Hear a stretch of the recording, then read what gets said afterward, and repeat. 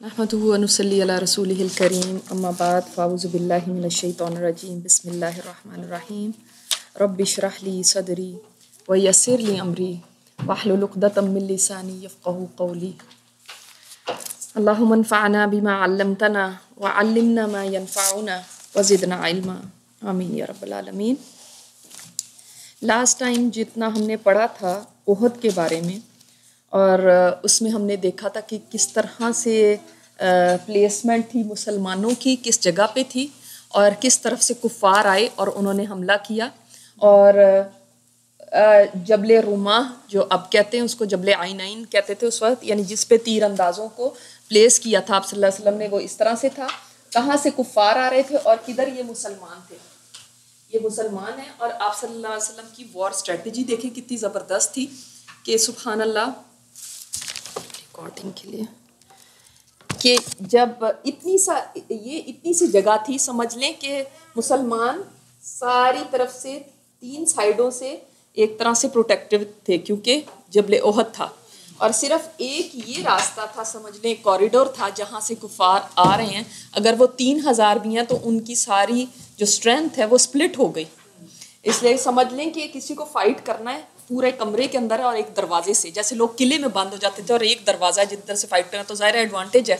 Instead of के हाँ पूरे खुले मैदान में करते राइट और सिर्फ़ ये एक साइड थी जो अनप्रोटेक्टेड थी कि वो लोग यहाँ से ना आ जाएँ। इस वजह से आप सल्लल्लाहु अलैहि वसल्लम ने यहाँ पे तीर अंदाजों को प्लेस किया था कि ये जो दर्रा है, ये जो कॉरिडोर है, ये सेफ़ हो जाए। जब ये ब्लॉक हो गया, यहाँ से बंद हो गया तो आप देख लेना, चारों तरफ़ से बंद है सिवाय इस जगह के कि ये खुली जगह है। ये हाँ ये तो काफिर आए हैं ना यहाँ से?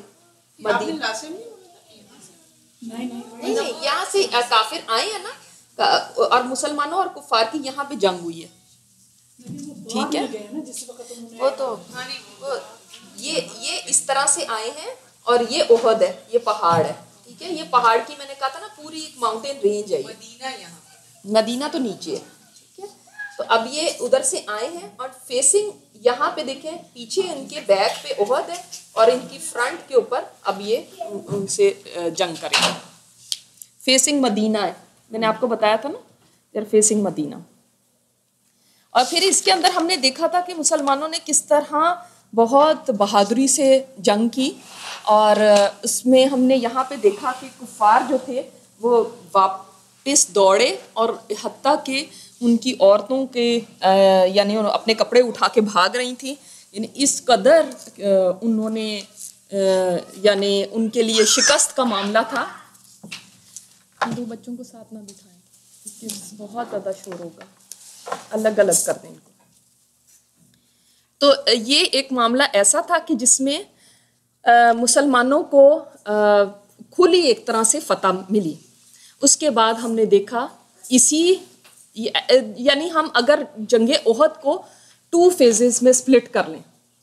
पहला फ़र्स्ट हाफ़ कह लें। जैसे गेम में फ़र्स्ट हाफ़ होता ना फ़र्स्ट हाफ़ में क्या था? जिसमें मुसलमान फतेहयाब हो गए राइट हो गए और काफिर भाग रहे हैं।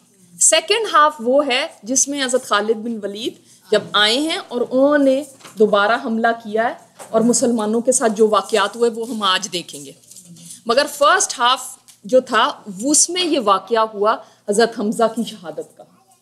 और जैसे मैंने आपको पहले बताया था कि हज़रत हमज़ा जो थे उनको शहीद करने वाला एक हबशी ग़ुलाम था जो जुबैर बिन मुताम का ग़ुलाम था। और जुबैर बिन मुताम आपको बिन मुताम से क्या पता चल रहा है?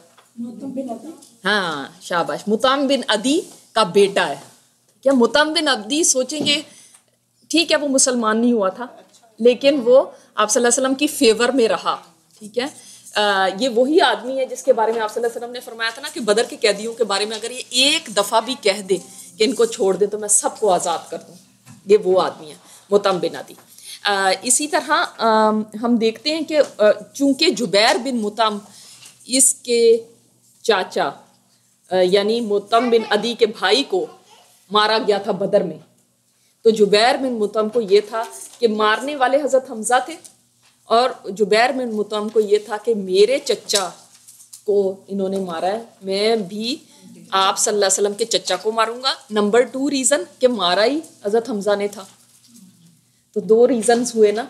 तो उसने फिर कहा, हालाँकि जुबैर बिन मोतम बाद में मुसलमान हो गए थे। वो बाद में मुसलमान हो गए थे। और सुबहान अल्लाह जब हम इस सारी स्टोरी को देखते हैं और ख़ास तौर पे वाशी को देखते हैं कि वाशी भी आपको पता है कि फ़तेह मक्का तक मुसलमान नहीं हुआ था। और इवन आप सल्लल्लाहु अलैहि वसल्लम मक्का फ़तेह करने भी जब आ गए तो ये भाग निकला था। इसके भी सर पे ये था कि इसको जहाँ देखा जाए तो मार दिया जाए। और ये ताइफ की तरफ़ चला गया और फिर जब ताइफ वाले भी मुसलमान हो गए तो इसने फिर कहा कि अब मैं कहाँ जाऊँ? और इसको ये था कि किस तरह से मतलब मैं अपनी जान बचाऊं और कैसे। तो वो इन आज हम ये सारा देखेंगे, ये सारा वाक्य। इसी तरह ये भी हमें पता चलता है कि बाद में जब लोगों ने इसको कहा कि मोहम्मद सल्लल्लाहु अलैहि वसल्लम का कलमा पढ़ लो, जो ये कलमा पढ़ लेता है तो वो उसको कुछ नहीं कहते। तो तब इसने मुँह पे कपड़ा लपेट के अपने आप को कवर करके आप वसल्लम की मजलिस में आया और कलमा पढ़ लिया।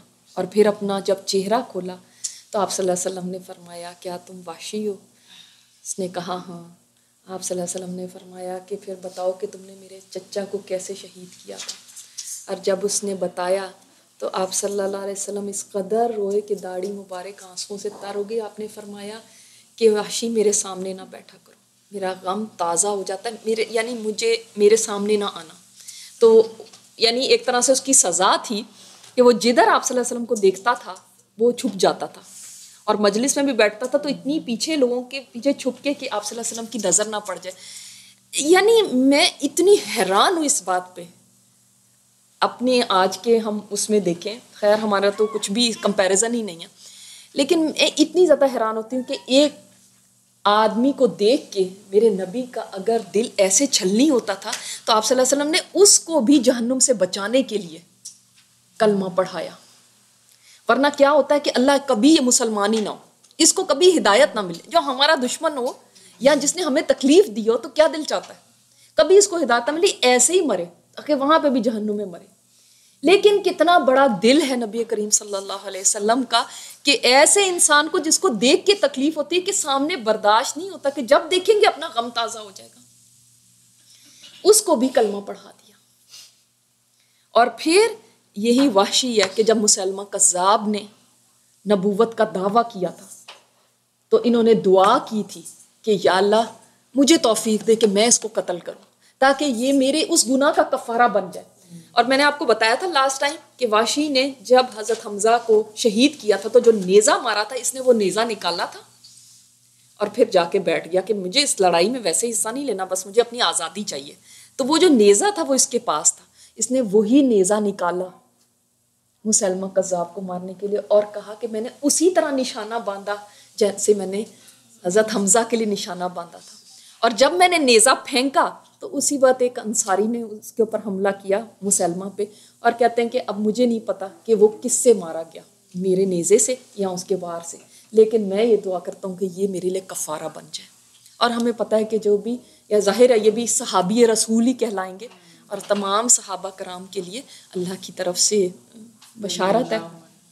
दूसरा जो आपने जैसे लास्ट टाइम सवाल किया था कि जैसे ये सहाबा कराम है लेकिन माले गनीमत लेने के लिए ये क्यों चले गए? और हम तो इनसे ये नहीं सुन तो बात ये है कि हमेशा एक बात याद रखें कि सहाबा कराम इंसान ही थे।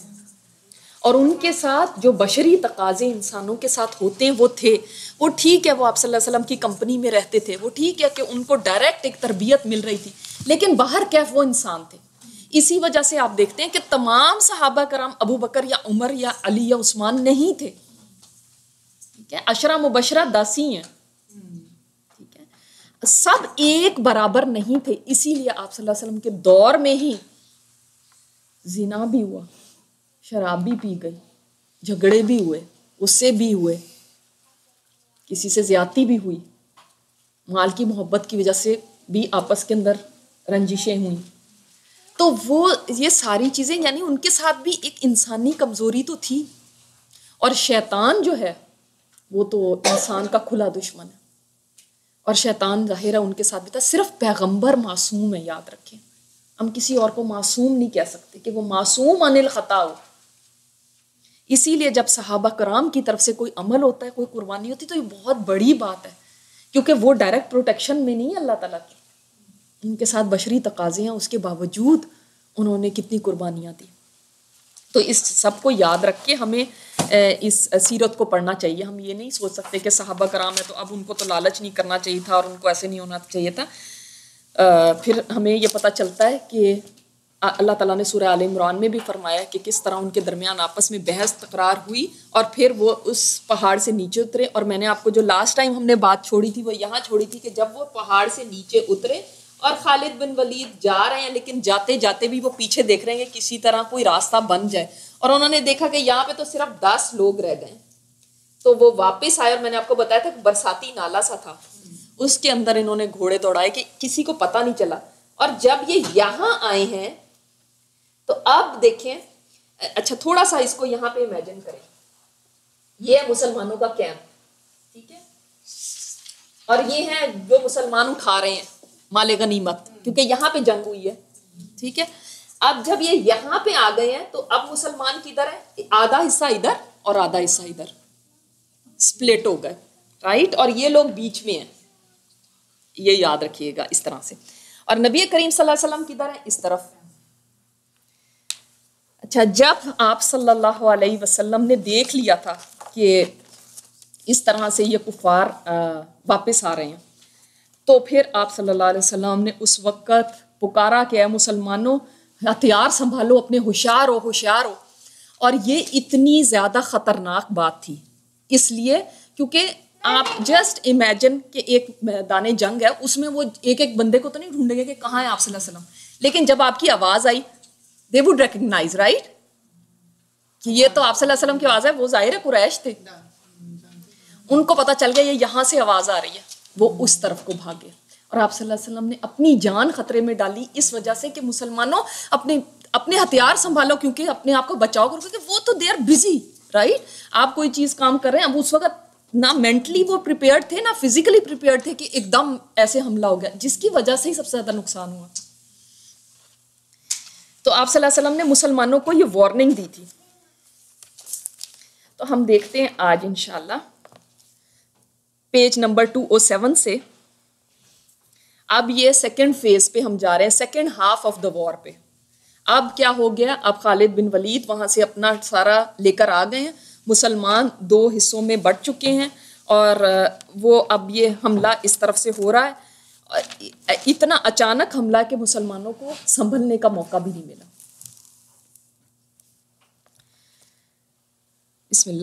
रहीम नबी सल्लल्लाहु अलैहि वसल्लम पर मुशरिकीन का हमला और आप सल्लल्लाहु अलैहि वसल्लम के कत्ल की अफवाह। इस वक्त रसूलुल्लाह सल्लल्लाहु अलैहि वसल्लम पीछे तशरीफ़ फरमा थे और आपके साथ सिर्फ़ सात अंसार और दो मुहाजरीन थे।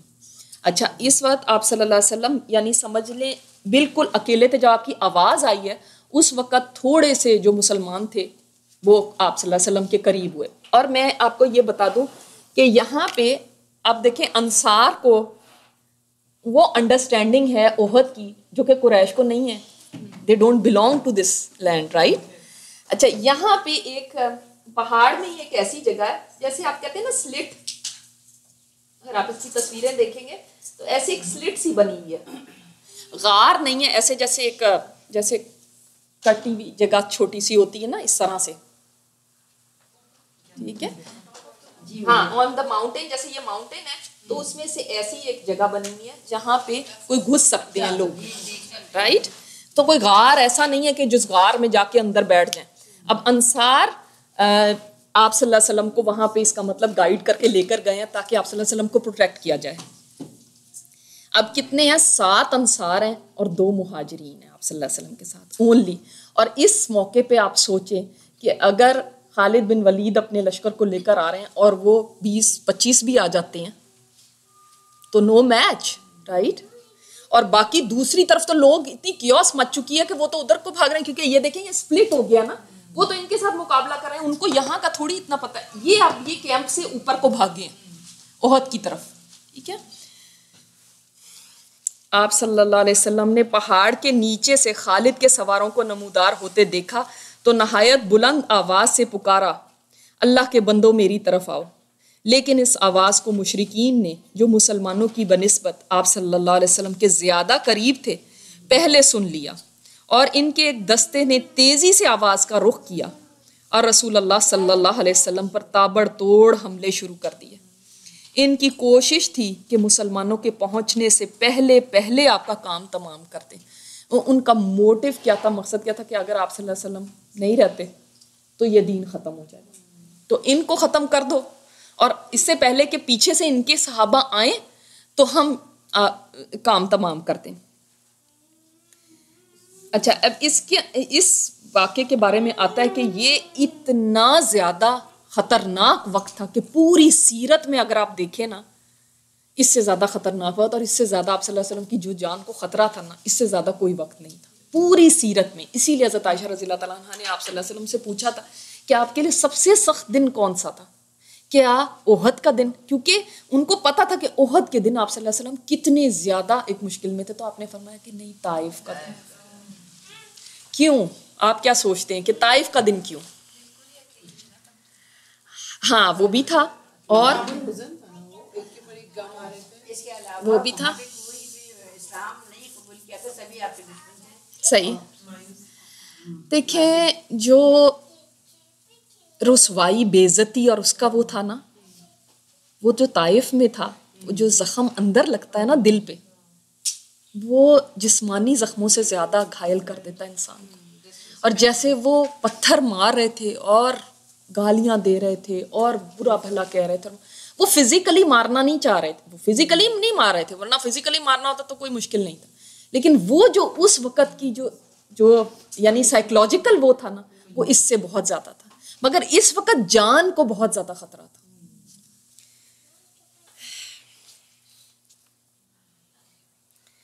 इस मौके पर आपने फरमाया अच्छा अब ये भी कहा जाता है, देखिए, ये ऑल दीज इंसिडेंट्स जो है ना, जो यहाँ पे हम पढ़ रहे हैं, ये स्कैटर्ड है। सीरत के अंदर, यहाँ पे कुछ इस तरह से दिए हुए हर एक ने किसी से रिवायत है, किसी से रिवायत है तो वो एक जगह इस तरह दी गई है। अब कहा जाता है कि हो सकता है वो इस वक्त जब भाग रहे हैं उस तरफ़ जाने के लिए तो आप वसल्लम आगे आगे हैं और पीछे वो हैं अंसार, नौ लोग ये पीछे हैं और वो उनसे फाइट कर रहे हैं कि आप वसल्लम तक ना पहुँचे और वो सेफली ऊपर चले जाएँ। तो उस वक़्त मौके पर आपने फरमाया, कौन है जो उनको, इनको मुझसे दफ़ा करे और इनके लिए जन्नत है और उसके लिए जन्नत है? या ये फरमाया कि वो जन्नत में मेरा साथी होगा, मेरा रफ़ीक होगा। इस पर एक अंसारी ने आगे बढ़कर उन्हें पीछे धकेला और लड़ते लड़ते शहीद हो गए। कहा जाता है कि हज़रत तलहा ने, ये जो दो महाजरीन थे ना, इनके नाम क्या है? एक तलहा और एक साद बिन अबी वक्स रज़ी अनहा। ये दो थे। तो तलहा ने कहा कि मैं जाता हूँ और मैं इनसे लड़ता हूँ। तो आपने फरमाया कि नहीं, तुम नहीं। अंसारी को कहा कि तुम जाओ, क्योंकि ये ये जो दो थे, ये बेस्ट तीर अंदाज थे तलहा भी और साद बिन अबी वक्स भी। तो आप वसल्लम चाहते थे कि ये, इनको अभी संभाल के रखा जाए या नहीं? इसके बाद मुशरकिन ने फिर हमला किया और बिल्कुल करीब आ गए। इसका मतलब देवर अवे वो इनको रोक रहे हैं, और अब ये मुशरकिन करीब आ गए। आपने फिर यही फरमाया, अब एक दूसरे सहाबी ने बढ़कर इन्हें पीछे धकेला, और वो भी लड़ते लड़ते शहीद हो गए। फिर तीसरे ने, फिर चौथे ने, यहाँ तक के सातों अंसारी शहीद हो गए। अब सोचे कितना डेंजरस टाइम है। अल्लाह अकबर। तो अब क्या होता है? जब सातवें अंसारी सहाबी गिर गए तो रसूलुल्लाह सल्लल्लाहु अलैहि वसल्लम के पास दो कुरैशी महाजिर बाकी बचे। एक तलहा बिन उबैदुल्ला और दूसरे Saad bin Abi Waqqas both from Ashara मुबशरा हज़रत तलहा को जानते हैं आप कौन है? नहीं पता। कौन है? हज़रत तलहा का नाम सुना कौन है ये? हज़रत उम्मे सुलैम के शोहर।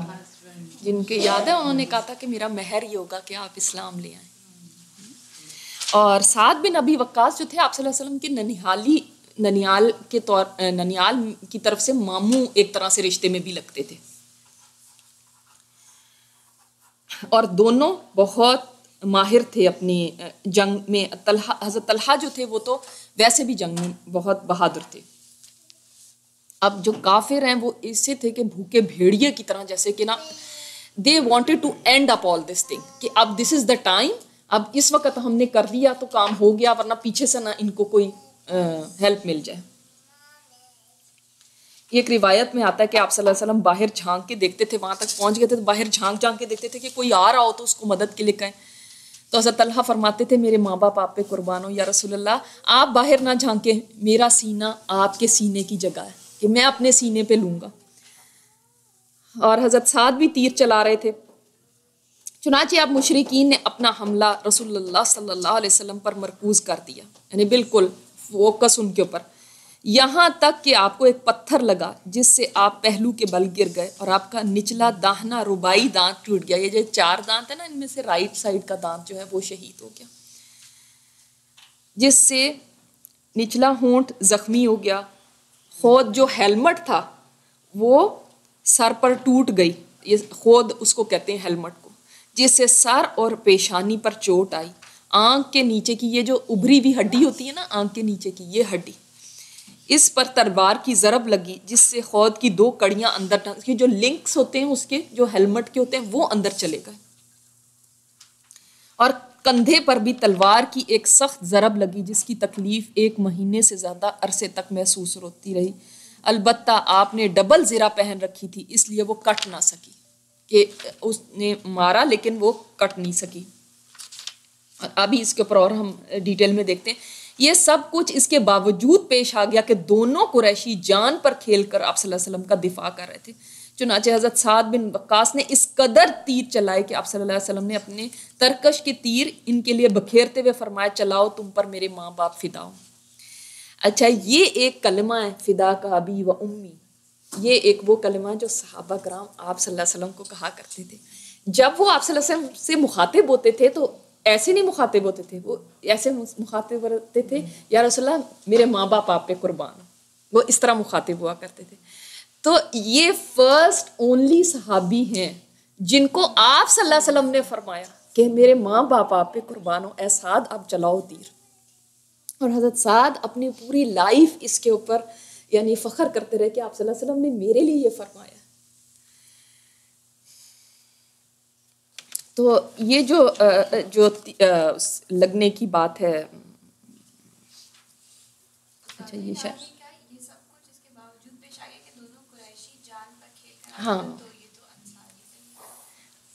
हाँ कुरैशी यानी मुहाजरीन। कुरैशी से मतलब मुहाजिर कहाँ से है? कुरैश से ही आए हैं ना? और तलहा बिन उबैदुल्ला ने तन, तनहा पिछले सब लोगों के बराबर लड़ाई लड़ी अकेले ने। अकेले हर तरफ़ से फाइट कर रहे थे। यहाँ तक कि इन्हें पैंतीस या थर्टी नाइन जख्म आए। अपने हाथ पर तीर तलवार रोक कर नबी सल्लल्लाहु अलैहि वसल्लम को बचाया जिससे उनकी उंगलियाँ जख्मी होकर शल हो गईं। कहा जाता है कि इन्होंने इनके पास ज़रा भी इन्होंने पहनी हुई थी और तलवार भी इनके पास थी। और जब मुकाबला कर रहे थे तो किसी ने, काफिर ने जब तलवार चलाई तो उससे उनकी उंगलियाँ कट गई। तो जब उंगलियाँ कटी तो एकदम इंसान की आवाज़ निकलती, ऐसे होता है ना? वो आवाज़ जब आई तो अब वसल्लम ने फरमाया, अगर तुम बिस्मिल्लाह कहती तो तुम्हें फरिश्ते उठा लेते और लोग देखते रहते। इस वक्त उनका मकाम इतना बुलंद था कि लोगों के सामने तुम्हें फरिश्ते उठा लेते इस वक्त।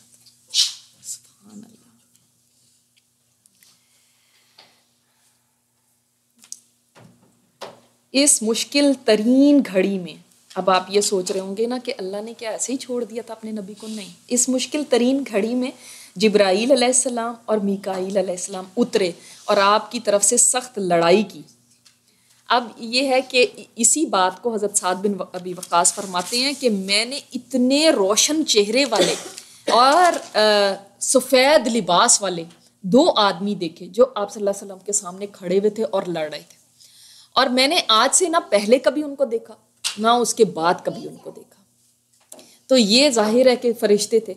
मगर फिर भी आप क्या सोच सकते हैं, फरिश्तों से बच के कोई तीर या कोई चीज़ आप सल्लल्लाहु अलैहि वसल्लम तक पहुँच जाए? नहीं हो सकता ना। फिर कैसे पहुँच गई? इसको हम कहेंगे कि अल्लाह की तरफ़ से ये तकदीर थी, जो आप सल्लल्लाहु अलैहि वसल्लम के लिए लिखा हुआ था। वरना फरिश्ते वो तो उसका एक पारी मारेंगे तो ये अंधे हो जाए। हिजरत की थी ना आप सल्लल्लाहु अलैहि वसल्लम ने? तो कैसे वो अंधे हो गए थे? उनको तो कुछ नज़र ही नहीं आया था। लेकिन अल्लाह का इज़न यही था, ताकि उम्मत जो है, कभी ये ना कहे, उनके साथ तो फरिश्ते होते थे, जी उन्होंने तो ऐसे कर लिया, हमारा क्या है? नहीं, देखो तुम्हारे नबी ने भी जख्म खाए देखो तुम्हारे नबी ने भी इस रास्ते में कुर्बानियाँ दी देखो, उनका भी खून बहा है। और इस इस टाइम पे जैसे यहाँ पे है, कुछ मुसलमान भी पलट कर आपके पास आ गए और उन्होंने भी जम कर दिफा किया। अब ऐसे टाइम के ऊपर मुसलमानों को पता चला और वो भी पलट आए। बहुत सारे सहाबा कराम कि आप वसल्लम कहाँ हैं, इस बारे में आता है कि एक सहाबी थे, कतादा बिन नमान वो रिवायत करते हैं कि ओहद के दिन आप सल्लल्लाहु अलैहि वसल्लम ने मुझे कमान दी और मैंने उसको इतना इस्तेमाल किया कि वो वो इस काबिल ही नहीं रही कि यूज़ हो सके, यूज़लेस हो गई, इतने तीर चलाए। और कतादा कहते हैं कि जब तीर मुसलसल आने लगे तो मैंने फैसला किया, मैं अपना जिसम आगे कर दूँगा। अच्छा अगर आप अपना सोचें कि जब कोई चीज़ आती है तो हम क्या करते हैं? ऐसे होते हैं राइट उससे बचने, ये हमारा एक रिएक्शन होता है ना रिफ्लेक्स होता है इंसान का। लेकिन वो क्या कर रहे हैं कि तीर आ रहे हैं तो वो अपने आप को आगे कर रहे हैं कि कहते हैं कि मुझे नहीं अब समझ आ रही थी कि किस तरह रोका जाए, क्योंकि हर तरफ़ से तीरों की बारिश थी। तो कैसे रोका जाए? तो मैं अपना जिसम आगे कर देता था। सुबहान अल्लाह तो कहते हैं कि जब हर तरफ़ से तीर आ रहे थे और मैंने अपने आप को ढाल बना दिया था अपने जिसम को, कहते हैं कि मैं देखने लगा कहाँ से तीर आ रहा जिस तरफ़ से उड़ता हुआ तीर आता था, मैं उस तरफ़ अपना जिसम कर लेता था। ताकि आप सल्लल्लाहु अलैहि वसल्लम तक कोई तीर ना पहुँचे। हती कि मैंने एक तीर देखा जिसको रोकने के लिए सिर्फ़ ये हो सकता था कि मैं अपना चेहरा आगे कर दूँ। और कहते हैं कि वो तीर आया और मैंने अपना चेहरा आगे कर दिया तो वो तीर मेरी आँख में चला गया। अल्लाह अकबर। जब आप सल्लल्लाहु अलैहि वसल्लम ने ये देखा तो आप सल्लल्लाहु अलैहि वसल्लम रोने लगे। और आपने फरमाया अल्लाह, कतादा ने तेरे रसूल की हिफाजत में अपने चेहरे को आगे कर दिया। तू इसकी आँख को अच्छा कर दे और इसकी रोशनी को ज़्यादा कर दे और ये दुआ करके आपने तीर को आँख से निकाला। और कतादा फरमाते हैं कि फ़ौरन ही उसी वक़्त मेरी आँख सही हो गई और उसकी, उस आँख की रोशनी दूसरी आँख की रोशनी से भी ज़्यादा हो गई। सुबह अल्लाह। और ये जैसे यहाँ पे हमने पढ़ा कि आप वसल्लम जख्मी हुए तो बाज़ रिवायात में आता है, एक दफ़ा हुए बाज़ में आता है, दो दफ़ा, तीन दफ़ा, इस तरह जैसे मैंने आपको बताया कि कहीं तीर आके लगा, बाज़ जगह पे आता है कि दो तीर लगे, बाज़ जगह पे आता है, एक तीर था और एक ऐसे लगा कि ये हेलमेट की कड़ियाँ, एक गाल में तीर लगा हुआ था और एक वो जो हेलमेट पहना हुआ है, उसकी कड़ी अंदर चली गई थी और तलवार भी एक ने मारी थी। तो ये दो तीन इंसिडेंट्स आते हैं, लेकिन ये नहीं हम बता सकते कि किस वक्त क्या हुआ। यहाँ पे तो तीनों ने बात एक जगह ही करनी है। लेकिन ये कहा जाता है उतबा बिन अबी वक्कास। किसके भाई होंगे? सात बिन अबी वक्कास का। भाई, हमला कर रहा है। अल्लाह अकबर। एक बाप के दो बेटे। एक डिफेंड कर रहा है और एक हमला करने वाला। और उसने एक तीर फेंका था जिस, जो आपके चेहरे पर लगा था और उससे होंठ मुबारक जख्मी हुआ था। और दूसरा, उसने जो तीर फेंका, उससे आप वसल्लम की जो खोद, जो हेलमेट था, उस, वो, उसकी जो कड़ियाँ थी, वो अंदर गाल मुबारक में पेवस्त हो गई। और ये बहुत सख्त ज़ख्म था। और तीसरा जो ज़ख्म यहाँ पे आया, वो अब्दुल्ला बिन कैमिया जो था, उसकी तरफ़ से आया, तलवार का वार हुआ था। और इस, ये इतना करीब आ गया था कि आप सल्लल्लाहु अलैहि वसल्लम उसकी तलवार की जद में थे। मगर हज़रत तलहा आगे आ गए। और जब वो आगे आए तो थोड़ा ज़ोर तो टूटा उसका जो जो उसने हमला किया था। लेकिन फिर भी आप वसल्लम के बाजू में, ये जैसे आता है ना कि इसकी, इस ज़रब की तकलीफ़ आपको एक महीने से ज़्यादा अरसे तक महसूस होती रही, हालाँकि आपने ज़ीरा पहनी हुई थी। तो उसने जो हमला किया, अब उन्होंने रोकते रोकते रह गए, लेकिन वो सोचे कहाँ तक पहुँच गए थे, इतने करीब पहुँच गए थे और डायरेक्ट तलवार का तो हमला ऐसे ही हो सकता है ना, तीर तो दूर से भी लोग बरसा सकते। लेकिन तलवार का हमला इतना हो गया था कि इतनी करीब पहुँच गए थे। ये वो मौका था, अब यहाँ पे शायद इसका ज़िक्र नहीं है। ये वो मौका मौका था जिस वक़्त फिर आप वसल्लम की ज़ुबान से निकला कि अल्लाह ऐसी कौम को कैसे माफ़ करेगा, जो अपने नबी के साथ ऐसे करती है। जो अपने नबी के साथ ये करे, अल्लाह ऐसी कौम को कैसे माफ़ करेगा। इस पे फिर सूर्य आल इमरान की आयात उतरी थी कि अल्लाह ताला ने फरमाया था लई सलकमिन अमरी शैआ ए नबी आपका ये काम नहीं है कहने का कि अल्लाह किसको माफ़ करेगा और किसको नहीं। और एक रिवायत में आता है आपने फरमाया अल्लाह ऐसी कौम को कैसे हिदायत देगा जो अपने नबी के साथ ऐसे करती है? ये सिर्फ़ अल्फाज निकले थे। अल्लाह ताला ने फरमाया आपकी ये नहीं है क्या उसको कहेंगे एक अच्छा कोई आपके लिए अप्रोप्रिएट नहीं है। ये एक वर्ड में कह सकती आपके लिए अप्रोप्रिएट नहीं है कि आप ये अपने मुँह से बोलें। अल्लाह जिसको चाहे माफ़ करे, अल्लाह जिसको चाहे हिदायत दे। आप कैसे फैसला कर सकते हैं? और हम समझे में कि आप वसल्लम क्यामत के दिन फैसला करेंगे और जिसको चाहेंगे बख्शवा लेंगे और जिसको चाहेंगे छोड़ देंगे और वो जहन्नुम में चला जाएगा। ऐसे नहीं है। इससे पता चलता है अब्द अब्द ही है और रब रब भी है। अब्द कितनी भी बुलंदी पे चला जाए, वो अब्द ही रहेगा अब्द ही है और रब रब ही रहेगा। चाहे वो पहले आसमान पे नजूल फरमा ले। वो रब ही है। अल्लाह की शान बहुत बुलंद है। उसके सामने ऐसे नहीं कि जो मर्ज़ी जो मर्ज़ी करा रहा है। इसलिए कोई कोई लाडला है, इसलिए कोई रसूल है। नहीं। इसके बाद हमें कितना केयरफुल होना चाहिए? हम कहते हैं, इसको तो कभी हिदायत ही नहीं मिलनी। इसको तो फलाने को ऐसे नहीं होना। और इतनी बड़ी बड़ी बातें। जब लोगों के मुँह से सुनती हूँ ना तो मैं सोचती इनको, वमा कदर का कदर। इनको अल्लाह इन्होंने अल्लाह की कदर ही नहीं पहचानी। कि जब लोग अल्लाह तुझे नहीं पता कि हम इस हाल में, अल्लाह तू क्या, इस तरह की बातें कैसे आप कर सकते हो? कैसे आप मुँह से निकाल सकते अल्लाह ने अपने नबी की बात के ऊपर, हालाँकि कोई ऐसी बात नहीं करती, अल्लाह ने अपनी this is a fact right कि इनको कैसे हिदायत, एक इंसान के मुँह से एकदम बात निकलती ना कैसे इनको हिदायत मिली कि अपने नबी के साथ ऐसे कर, जो नबी इनको आग से बचाने के लिए यहाँ पे पड़ा भाई ये उसको जख्मी करते ये उसकी जान के दर पे आए हैं अल्लाह ताला ने फ़ौरन बता दिया नहीं। तो उस वक़्त फिर आप सल्लल्लाहु अलैहि वसल्लम ने फिर अपनी बात बदली और फरमाया, इसके बाद देखो कैसे मेरे नबी आजिज थे फरमाया ए अल्लाह, मेरी कौम को माफ़ कर दे, इनको नहीं पता। ये जानते नहीं है, अल्लाह मेरी कौम को माफ़ कर दे।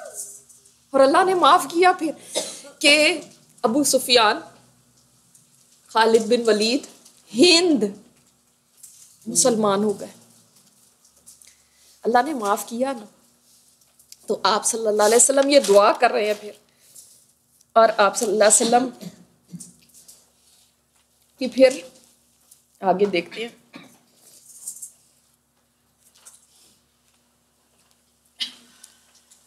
थोड़ी सी ये बात भी और बता दें कि आप सल्लल्लाहु अलैहि वसल्लम की शहादत की खबर फैल गई। वो कैसे फैली?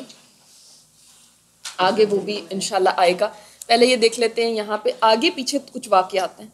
सबसे पहले पलट कर आने वाले अबू बकर सिद्दीक और उनके साथ अबू उबैदा बिन जर्राह भी थे। अबू बकर सिद्दीक रज़ी तु ने चाहा कि आगे बढ़कर रसूलुल्लाह सल्लल्लाहु अलैहि वसल्लम के चेहरे से खोद की कड़ी निकाल दें। अब देखिए, मुसलमान वापस आ रहे हैं और वो थोड़ा पता चल रहा है कि आप सल्लल्लाहु अलैहि इस तरफ़ है तो वो इस तरफ़ दौड़े में आए हैं और उनमें अबू बकर सिद्दीक फरमाते हैं। बाज़ जगह पे आता है कि ये वाक़ बाद का है। चलिए हम बाद का ही देख लेते हैं। ये क्यों भागे हुए आए वो पहले मैं आपको बताती हूँ कि एक आदमी था, उसका ये अब्दुल्ला बिन कैमिया, उसने हज़रत मुसब बिन उमैर को शहीद कर दिया। और हज़रत मुसब बिन उमैर थोड़ा सा पीछे जाके सोचे मुसब बिन उमैर कौन थे? जी शक्ल मिलती थी और जो मदीना में आपने पहले इनको सबसे पहले भेजा था ना और क्यों भेज दिया था पता है आपको? ये वो थे जिनके वालिद बहुत मालदार थे। और ये वो थे जो महँगी तरीन खुशबू लगाते थे इम्पोर्टेड इम्पोर्टेड लिबास पहनते थे और लोगों में मशहूर था कि देखो इसकी माँ ने तो इसको बिगाड़ दिया है, इतने लाड में कि इतना पैसा इसके ऊपर, देखो ये ये पता है, जहाँ से गुजर जाते थे, इनकी खुशबू से लोग पहचानते थे, ये मुसबिन उमैर गुजरे और फिर जब ये इस्लाम लाए तो उन्हीं माँ बाप ने भूखा प्यासा रखा और इनको चेन कर दिया।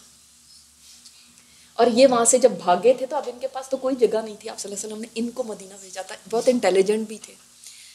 तो सुबहान अल्लाह यानी कि आप देखेंगे कि हज़रत हमज़ा शहीद हुए, कितने बड़े एक पिलर। बताना भी मुश्किल हो जाता है। उस और मुसब बिन उमैर, जो जिनका हर अंसार के कबीले में ना, कुछ लोग ज़रूर थे जो इनके हाथों पे मुसलमान हुए हुए थे। इनका कितना बड़ा काम था। सबसे पहले कुरान को यहाँ पे सिखाने वाले ये थे। और इनको जब शहीद किया गया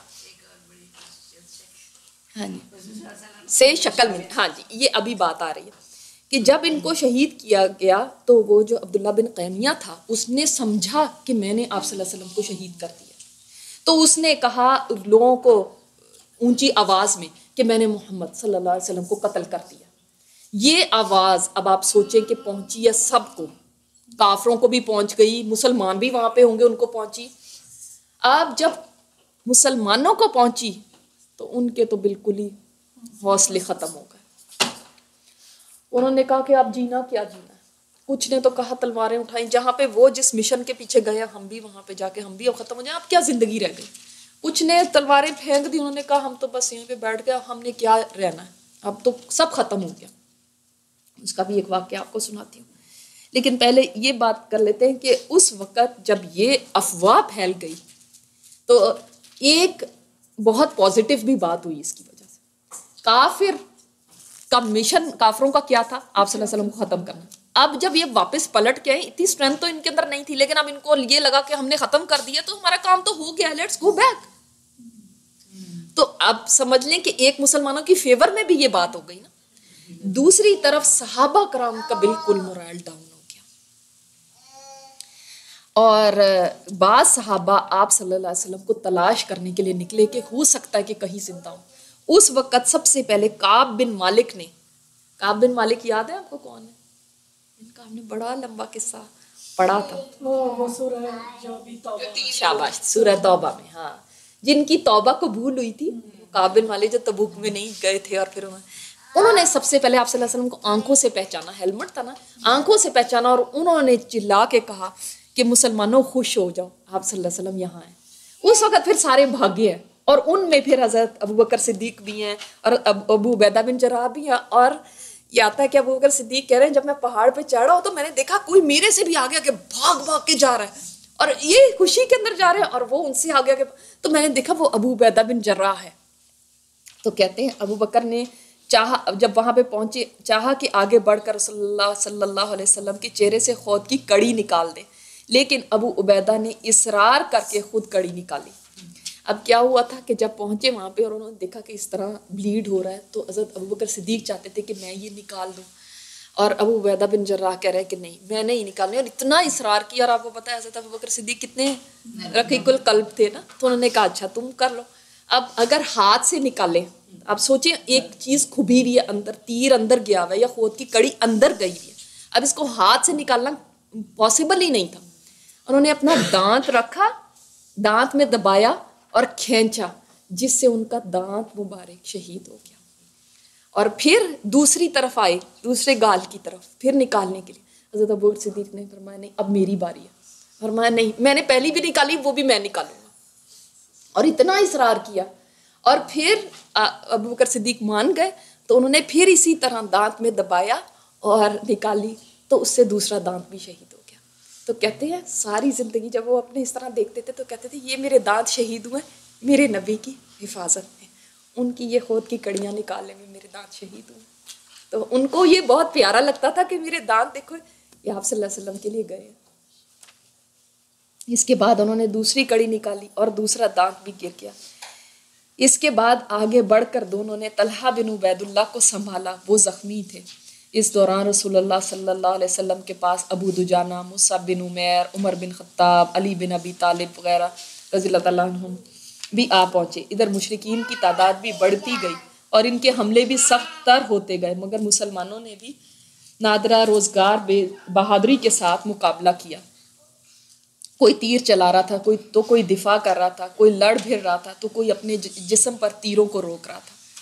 झंडा हज़रत मुसब बिन उमैर के हाथ में था। अब झंडा जो था, इसकी जो दी गई थी ज़िम्मेदारी हज़रत मुसब बिन उमैर को थी। पहले भी मैंने आपको बताया था ना कि झंडा इनके पास था। और झंडा बरदार को वो लोग स्पेशली टारगेट करते थे। क्यों? अगर झंडा गिर जाएगा तो फिर उसके बाद तो उसका मोरल बिल्कुल डाउन हो जाएगा, पूरी फौज का। तो वो सबसे पहले चाहते थे कि झंडा बरदार को नीचे करें। और इसके लिए वो अजद मुसब बिन उमैर के ऊपर हमला कर रहे हैं और वो चाह रहे हैं कि किसी तरह ये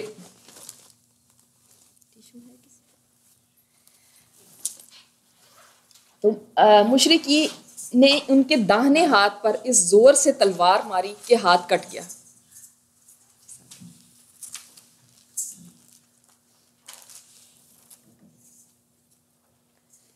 तो उन्होंने झंडा बाएँ हाथ में पकड़ लिया। दाहिने हाथ पे तलवार मारी, ये कट गया, बाजू तो दूसरे पे पकड़ लिया।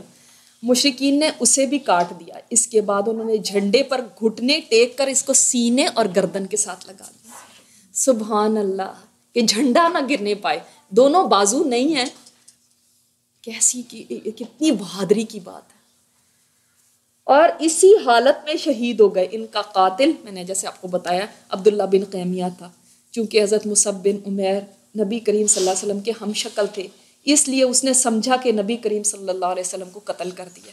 चुनाचे इसने वापस पलट कर चीखते हुए कहा, मोहब्बत कत्ल कर दिए गए। ये खबर तेज़ी से फैल गई और इसके नतीजे में मुशरकिन का दबाव कम हो गया। आप समझ आई ना, क्यों कम हुआ? क्योंकि इनके ख्याल में अब उनका मकसद पूरा हो चुका था। ये एक आपको वाक्य सुनाना चाहूँगी, इसमें ये बहुत अच्छी किताब है, अगर आप लोगों को कहीं मिले। सीरत के सच्चे मोती, सीरत के सच्चे मोती। के हज़रत अब्दुलरहमान बिन औफ ने रोज़ा रखा था तो उनके पास खाना लाया गया। तो वो हज़रत मुसब बिन उमैर को याद करते हुए कहने लगे, वो ओहद में शरी, शहीद कर दिए गए थे और वो मुझसे कहीं ज़्यादा अफजल और बरतर थे। उन्हें एक चादर में कफन दिया गया था। वो चादर इस कदर छोटी थी कि अगर उससे उनका सर छुपाया जाता तो उनके पाँव नंगे हो जाते। और अगर पाँव ढांके जाते तो सर नंगा हो जाता। जहाँ तक मुझे याद है उन्होंने मजीद कहा हज़रत हमज़ा भी शहीद हो गए वो भी मुझसे अफसल थे। फिर जैसा कि देख रहे हो हमारे लिए अब दुनिया की आसाइशें वसी कर दी गई। इस वसत को देखकर डर लगता है कि कहीं हमें हमारी नेकी का बदला इसी दुनिया में तो नहीं दे दिया गया। ये कहकर वो रोने लगे और खाना अपनी जगह पड़ा रह गया। ये बुखारी में किताबुल जनाइज की ये रिवायत है। जी तो यानी वो कहते थे बाद की बात है, जब फतूहत हो गई, जब हर एक को बहुत कुछ मिल गया तो वो कहते थे कि उनको दुनिया का कोई हिस्सा नहीं मिला। ठीक है ना, इस्लाम लाने के बाद उन्होंने तो कुछ भी नहीं देखा। सिर्फ़ तकलीफें देखी ना। ना, यहाँ पे तो इन्होंने लिखा अब्दुलरहमान बिन औफ ने रोज़ा रोज़ा रखा। तो एक और जगह पे एक और सहाबी का भी नाम आता है तो भी मैं आपको बता देती हूँ कि उनके लिए भी आता है कि उन्होंने भी यही इसी तरह की बात की थी खबाब बिन अरत ने। उनको भी लंबी उम्र मिली थी और गवर्नर भी बने थे। तो उनके बारे में भी आता कि जब उनकी मौत का वक्त आया तो रोने लगे, फरमाने लगे, हम सबने हिजरत की आप वसल्लम के साथ। तो अल्लाह से सवाब की उम्मीद है। और हमारा अजर अल्लाह पे है। मगर फिर उसके बाद हम में से कुछ ऐसे हैं जो दुनिया छोड़ के चले गए और उनको दुनिया का कुछ भी हिस्सा नहीं मिला। और उनका पूरा पूरा अजर आखरत में है। कैसे वो देखते थे, उनकी सोच देखो कैसे। और उनमें से एक मुसब बिन उमेर हैं, उन्हें ओहद में शहीद किया गया और उनके पास सिर्फ़ एक ही कपड़ा था कि अगर ऊपर से उनको ढांका जाता तो पैर नंगे हो जाते और पैर ढांके जाते तो ऊपर का जिसम नंगा हो जाता। है यानी वो कह रहे हैं कि हम जो आज इतनी आसाइशों में हैं, अब कहते हैं कि उसके बाद पता नहीं हमारे साथ अब क्या होगा, हमने तो अपना कुछ हिस्सा दुनिया में ले लिया, पता नहीं आखरत में हमारे लिए कुछ हो के नहीं। इनका सारा का सारा अजर आखरत में। क्योंकि इन्होंने कुछ दुनिया में नहीं देखा। इस्लाम का अरूज तो इनके ज़माने में आया ही नहीं। इन्होंने तो कुछ भी नहीं देखा। तो ये थे मुसब बिन उमैर। न जी।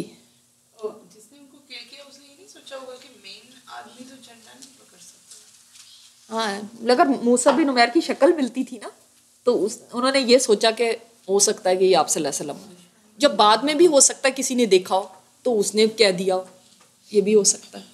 नरगे में आने के बाद आम मुसलमानों का हाल। अब ये तो अब उस तरफ़ की स्टोरी है ना, वो जो ऊपर की मैं आपको दिखा रही थी, ये कैंप की तरफ़ की ये स्टोरी थी सारी। अब लेट सी के दूसरी तरफ़ क्या हो रहा था, जिस तरफ़ लोग माले गनीमत जमा कर रहे थे।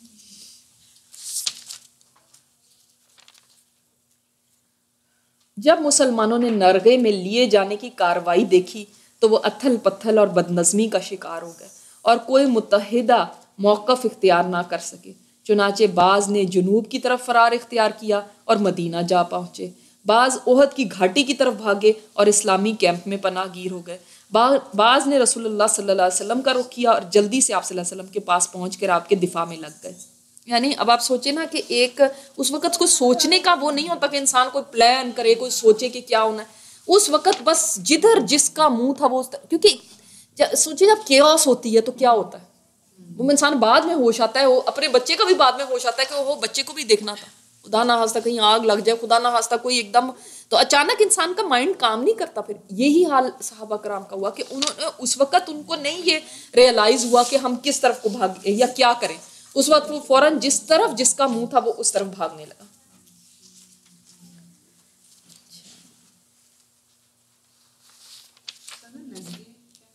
जी।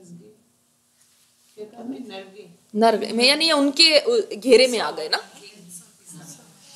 चुना अच्छा। जैसा कि गुजर चुका अक्सर मुसलमान नरगे के अंदर अपनी जगहों पर साबित कदम रहकर घेरने वालों से लड़ते भिड़ते रहे। लेकिन चूँकि कोई शख्स मुनज़म तौर पर उनकी क़्यादत नहीं कर रहा था, इसलिए उनकी सफ़ों में इंतशार और बदनज़मी गालिब रही। पहली सफ़ पलटी तो पिछली सफ़ से टकरा गई। अब इसके अंदर भी क्या हुआ? ये जो देखे ये जो पहली सफ़ है ये पलटी तो यानी यहाँ से आपको बताती हूँ।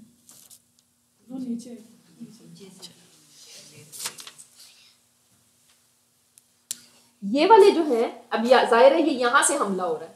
अब ये जो पलटे और ये यहाँ से आ रहे हैं तो मुसलमान मुसलमानों के साथ ही आपस में गुत्तम गुत्ता भी होगा और ये भी नहीं कई तो जगह पता चला कि कौन किसको मार रहा है। इस एक्सीडेंट में मुसलमानों के हाथ भी कई मुसलमान शहीद हो गए। और इनके अंदर आगे फिर बात आती है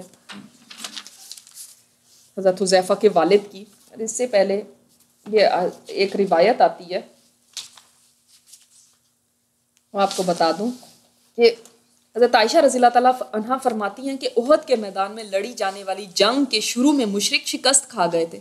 फिर जब खालिद बिन वलीद के पीछे से हमला करने की वजह से भगदड़ मची तो इबलीस पर अल्लाह की लानत हो। उस दौरान उसने धोखा देने के लिए आवाज़ लगाई, ए अल्लाह के बंदो, अपने पीछे वालों से खबरदार हो जाओ, यानी पीछे से तुम्हारे आ रहे हैं। इस पर वो मुसलमान जो आगे थे, जो वहाँ थे, वो अपने पीछे वालों पर पिल पड़े। और हज़रत जैफा ने जो देखा तो उनके वालिद हज़रत यमान पीछे वालों में से थे। मुसलमान उनको मार रहे थे और हज़रत हुजैफा शोर डालने लगे हुए थे, ये मेरा बाप है, ये मेरा बाप है। लेकिन अल्लाह की कसम मुसलमानों ने ना छोड़ा और गलती से उनको ही शहीद कर दिया। अब इसमें क्या हुआ था? सुबहान अल्लाह ये देखो किस तरह से किसी की शहादत लिखी हुई थी। ये भी एक दिलचस्प वाक़ आता है।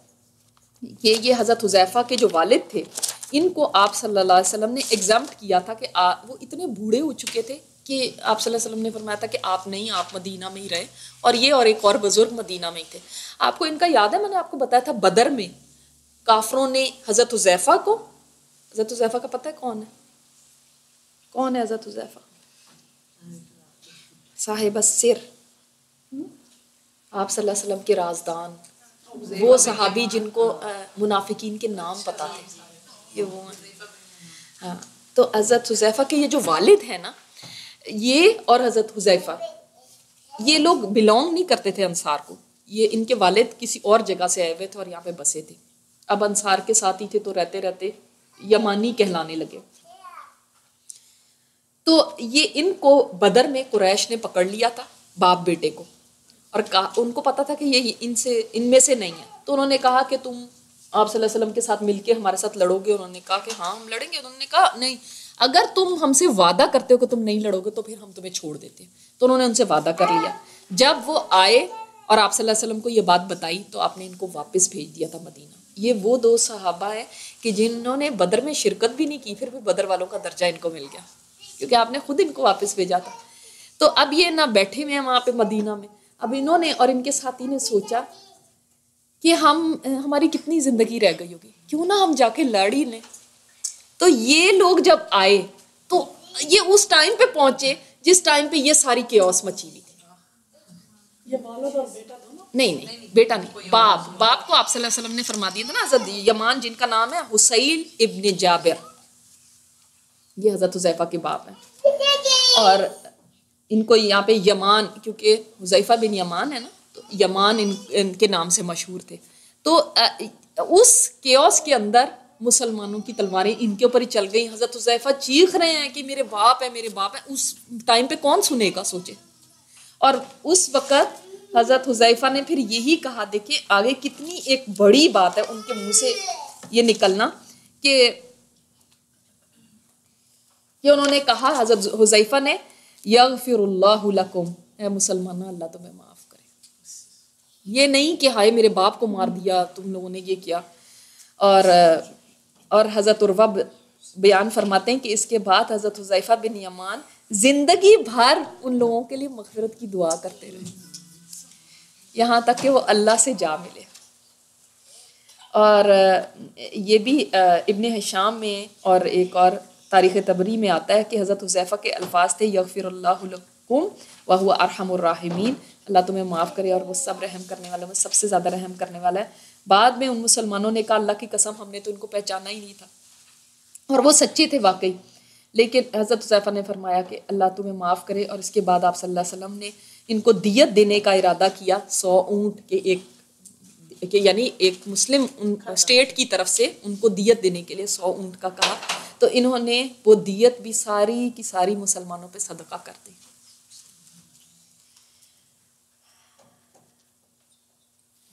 पर कितनी बड़ी बात है ना, बाप के लिए वो चीज़ होना। और यहाँ तक कि हज़रत हुसैफ़ा रज़ी तु के वालद यमान ख़ुद मुसलमानों के हाथों शहीद कर दिए कि इसके बाद मुसलमानों ने नबी सल्लल्लाहु अलैहि वसल्लम के कत्ल की खबर सुनी तो उनका रहा सहा होश भी जाता रहा और उनका जोश सर्द पड़ गया और वो टूट कर रह गए।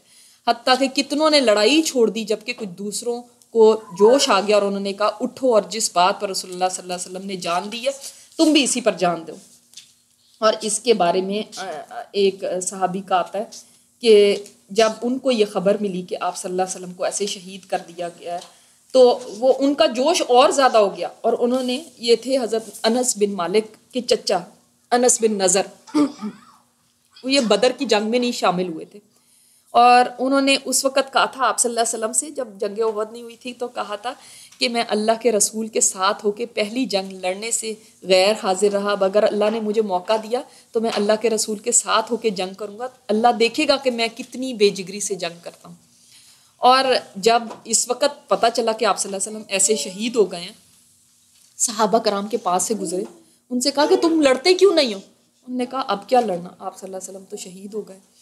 तो इन्होंने जवाब दिया था कि अगर मोहम्मद पर मौत आ गई है तो मोहम्मद के रब पे मौत नहीं आई। और अब तुम इस ज़िंदगी का क्या करोगे? अब जी के भी क्या करना? तो उठो और लड़ो। तो और फिर फरमाते हैं, आगे बढ़े और इनकी मुलाकात हज़रत सात बिन मुआज से हुई। सात बिन मुआज और ये बहुत क्लोज फ्रेंड्स थे। तो सात बिन मुआज से हुई तो उनसे कहने लगे सात कहाँ जा रहे हो? मुझे तो ओहद के दामन से जन्नत की खुशबू आ रही है। सुबहान अल्लाह कि मुझे यहाँ से जन्नत की खुशबू आ रही है। फिर फरमाते हैं, ये कहते हुए आगे बढ़े और फरमाते हैं अल्लाह, इन मुसलमानों ने आज जो गलती की है, जो कुछ भी किया है, इसके, इस पे मैं तेरे हजूर माजरत करता हूँ। और मुश, मुशरकों ने जो कुछ भी किया है, मैं इससे शदीद कर्ब का इजहार करता हूँ। मैं इनसे भरी हुई जिम्मा कहते हैं, आगे बढ़, बढ़े और लड़ने लगे हती के शहीद कर दिए गए। और इनकी, ये हज़रत अनस बिन मालिक नहीं है, हज़रत अनस बिन मालिक दूसरे हैं। ये अनस बिन नज़र हैं, उनके चचा। और इ, इतनी बेजिगरी के साथ ये लड़े हैं कि जब ये शहीद हुए तो इनके जिसम पे इतने ज़ख्म थे इतने ज़ख्म थे कि कोई जिसम का हिस्सा ऐसा नहीं था जो सलामत हती के कोई पहचान नहीं सकता था। जब इनको ढूँढने के लिए गए तो देखा कि एक लाश पड़ी हुई है पहचानी नहीं जाती इतने ज़ख्म है इसके ऊपर।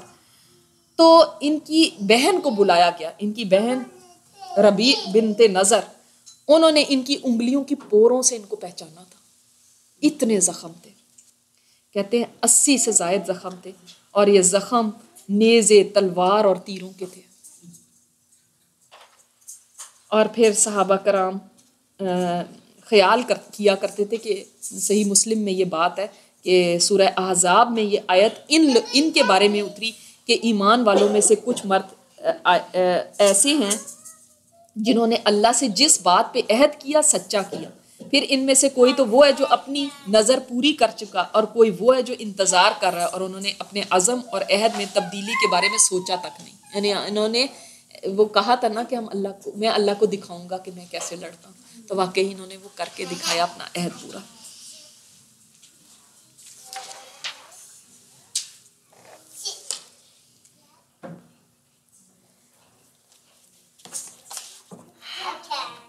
अच्छा मुसलमान इन्हीं हालात से दो चार थे कि अचानक काब बिन मालिक ने रसूलुल्लाह सल्लल्लाहु अलैहि वसल्लम को देख लिया। उस वक्त आप सल्लल्लाहु अलैहि वसल्लम नरगे में आए हुए थे।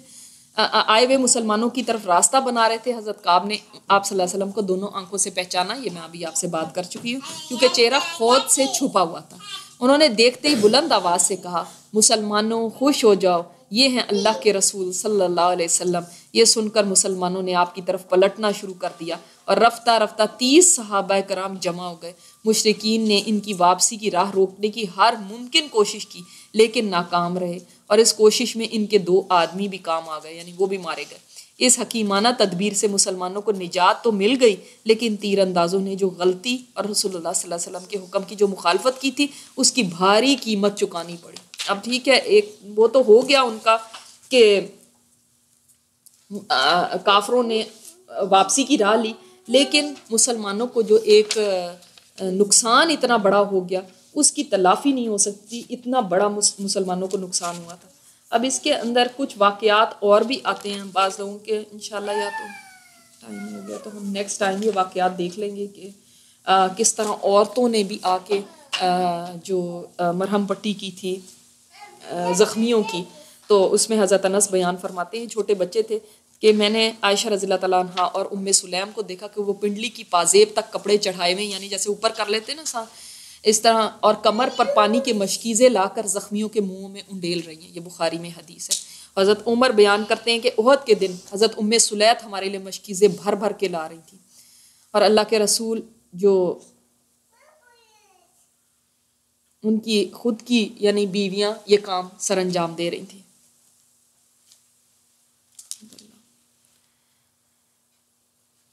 इसी तरह एक सहाबी हैं, हज़रत जैद बिन साबित। वो कहते हैं कि ओहद के दिन अल्लाह के रसूल ने मुझे भेजा कि मैं साद बिन रबी को तलाश करूँ। और मुझे फरमाया, अगर साद को देख लो तो मेरा सलाम कहना और कहना कि अल्लाह के रसूल तुम्हारी खैरियत मालूम करें कि तुम अपने आप को कैसा महसूस कर रहे हो। तो हज़रत जैद बिन साबित कहते हैं कि मैं शहदा के दरमियान चलता चलता उन तक पहुँचा तो वो आखिरी सांस ले रहे थे।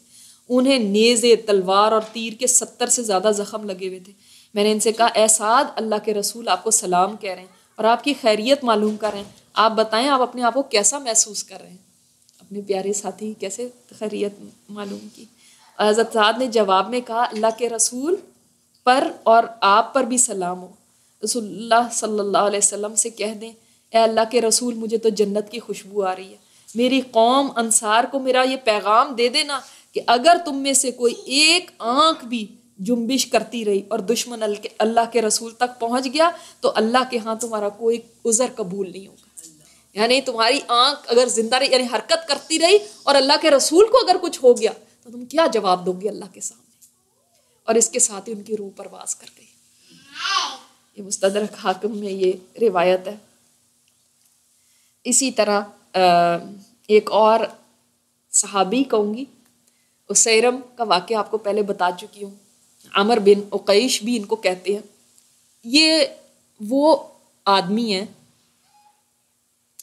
कि जो मुसलमान नहीं हुए, इस्लाम नहीं लेकर आए थे। बदर के बाद भी इस्लाम नहीं। मैंने आपको बताया था ना, यानी सब इस्लाम ले आए थे, लेकिन चंद एक कोई कोई बंदा ऐसा रह गया था जो अभी तक मुशरक था।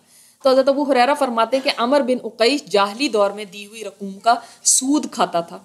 उसे कई बार इस्लाम की दावत दी गई, मगर उसको गवारा नहीं था कि वो अपना सूद लिए बगैर मुसलमान हो जाए। लिहाजा वो इनकार करता रहा। फिर ओहद के दिन वो अपने मोहल्ले में आया और पूछने लगा, मेरे चचा के बेटे कहाँ जब, यानी ओहद पे सारे चले गए थे। अब जब ये मदीना में बाहर निकला तो इसने कहा, फलां कहाँ है, फलां कहाँ है, फलां कहाँ है? अब लोग कहते जाए, वो तो ओहद में चले गए, वो तो ओहद में, औरतें मतलब कह रही थी, वो तो ओहद में चले गए। अब इसने सोचा कि अच्छा सारे, इसका मतलब ये दीन इतना वो है कि सारे ही मुसलमान हो चुके हैं और मैं ही रह गया हूँ। तो इसने जंगी हथियार जेबतन किए, घोड़े पर सवार हुआ, अपने घर वालों से कहा कि अगर मैं वापस ना आया तो जो भी मेरा माल होगा ना, वो आप वसल्लम को दे देना। तो जब ओहद में पहुँचा तो मुसलमानों ने इसको आते हुए देखा, हैरान रह गए। करीब आया तो इसे पूछा, अमर, तुम कहाँ? उसने कहा कि मैं तो मुसलमान हो गया और पता चला, पता चलता है कि वो उन्होंने कहा कि जब तक वो मुसलमान नहीं हो तो तुम हमारे साथ नहीं लड़ सकते। और आप सल्लल्लाहु अलैहि वसल्लम के पास को ले जाया गया। और आप सल्लल्लाहु अलैहि वसल्लम के पास जाके इसने शहादा ली और उसके बाद लड़ाई में शामिल हो गया। अच्छा ये भी कहा जाता है कि